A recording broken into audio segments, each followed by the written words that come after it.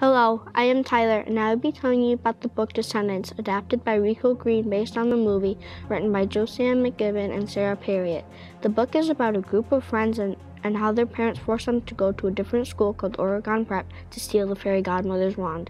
They are Mal, daughter of Maleficent, Evie, daughter of the evil queen, Carlos, son of Cruella de Vil, and Jay, son of Jafar.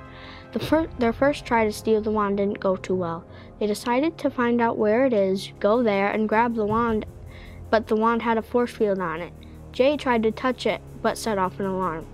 They managed to escape and tried a different strategy. Later, Mal tricked Jane, daughter Fairy Godmother, into talking her mom into using the wand to make her beautiful, but her mom did not. Later, Mal found out that Ben's girlfriend sat in the front row for his coronation. Ben is Belle's son, and Fairy Godmother blessed him to be king. Read the book and find out what happens next.